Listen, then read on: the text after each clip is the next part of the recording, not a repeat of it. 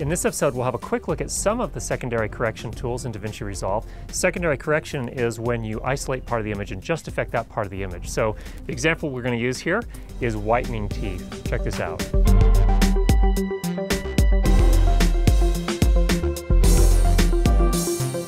All right, in this episode, what we're going to look at is kind of doing some of the finishing touches in your color grading, doing secondary correction, and specifically in this case, we'll use the example of whitening teeth. So you can see here in this example, teeth are looking just a little bit yellow, and that can happen for a variety of reasons. Obviously, if your talent has yellow teeth, they're going to look yellow.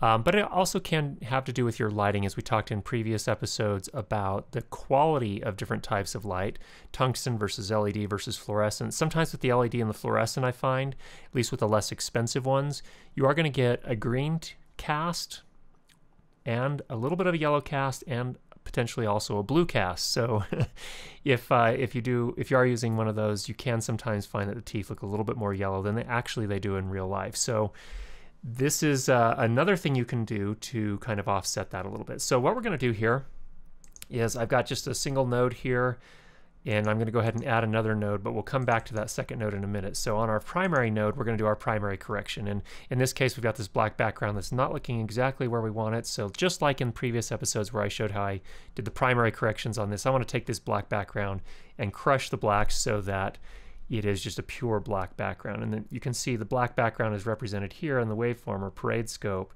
It's these kind of, each of the colors are showing this pedestal here. We want to get that down below zero. So I'll just take our lift and we'll just roll that down until we get those blacks nice and pure like that. And then I'll just take my gain and I'm going to bump that up a little bit till my skin tones are about where I want them. And that's going to be somewhere in the, you know, 900 range is where they're peak where they're peaking, but that that's about right for what we're looking at. Okay, so we're good there. Let's go to our second node here, and I just did that by again adding going to node and add a serial node. That's just a second serial node. So we'll get that out of our way so we can see. Now, what I want to do here is again take these teeth and let's just whiten those up just a touch but I don't want to affect any other part of the image really if I can avoid it so there are a variety of ways we can do that and this is just one way um, if you know of better ways certainly let us know but this is one way you can do that first we come into our curves here and in our curves we have a variety of options you you know you have the obvious um, this option here as far as curves where you get the RGB curves and, and the overall luminance curve. But there are also other options here as well, including soft clip, which we haven't covered yet, maybe in the future. We have our hue versus hue, hue versus saturation, hue versus luminance, and luminance versus saturation. Now today, we're going to look specifically at hue versus saturation and hue versus luminance. And the way this works is hue versus satua saturation, you choose a color range and then for that color range alone, you can e increase or decrease the saturation. And that's exactly what we're going to do here. With, with yellow teeth, typically the issue is that they're a little too saturated. You want to desaturate them some. And then on the hue versus luminance, what we'll do with this is you can actually, again, in this case, choose a color range, and you can increase or decrease the luminance for just that color range. And so what we'll do is we'll select the color range for our teeth and just very slightly increase the luminance, just to kind of give it that white overall look. So what we can do here is I can just scroll in, and the way I'm doing that, I'm using a mouse with the scroll wheel, and, and the scroll wheel just lets you zoom in some. So we're back to our hue versus, versus saturation, and I'll just take the eyedropper up to the teeth and select the area there. And you can see what's happened is, as we did that, it put uh, some control points on the curve here, and selected just that range. So really we're looking at the kind of orange to yellow range here. And that's exactly what we're seeing in the teeth. So to decrease the saturation for that range, I just pull this down a little bit. Now I can go extreme and you can see the, the teeth kind of turn arctic white and maybe that's the look you're going for. Um, that's cool if you are, you can go that extreme. I'm not really probably looking for something that quite extreme, just sort of roll the yellow edge off a little bit and we'll probably go in that range there.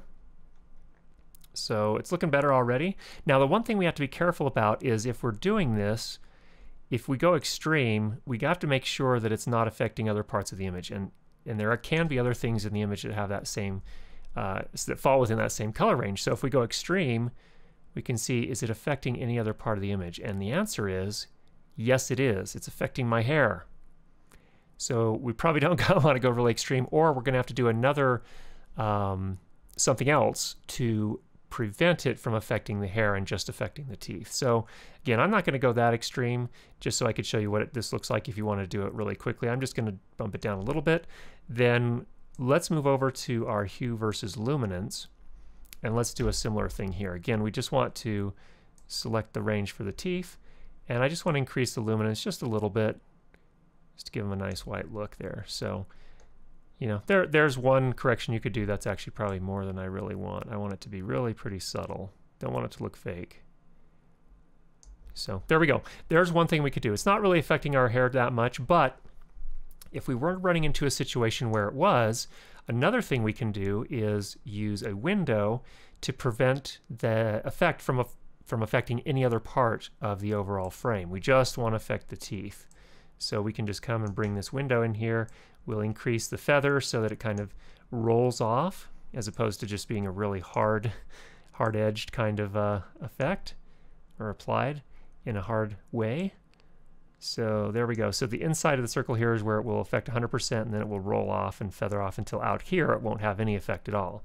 But the problem is, of course, that your talent is going to be moving. And in this case, I evidently appear to be a fairly animated talker and I move around a lot when I'm talking. So let's watch, um, let's just watch really quickly and see how much I move around.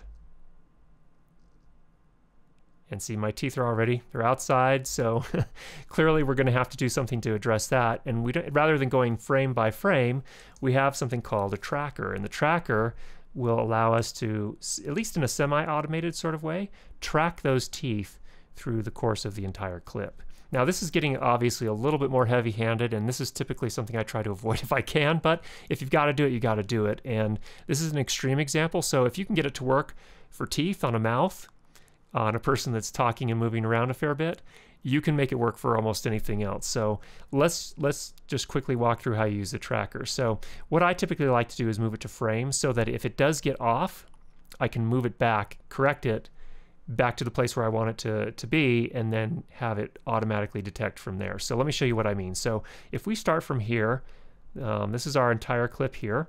I'm going to start from right here and first I want to go backwards to the start. So I'll just press this left or rewind button and I'll be ready to press the pause button in case it gets uh, sort of out of control and, and starts uh, moving the window off of my teeth and into other areas of the image. It actually did pretty good there. So we're just going to go ahead and roll with that. That's that's going to be fine. Let's uh, move it back here and let's pick it up going the other direction. Okay, we can see here it's definitely zoomed in way too much. So we want to kind of just move this back, resize it so it's really just affecting the part that I want it to affect, just like that. And then we just press play again. And again, it's uh, zoomed in a little too much. Bring it back here. There we go. And then we'll keep on going. Okay, pretty good. So we can just test that really quickly here.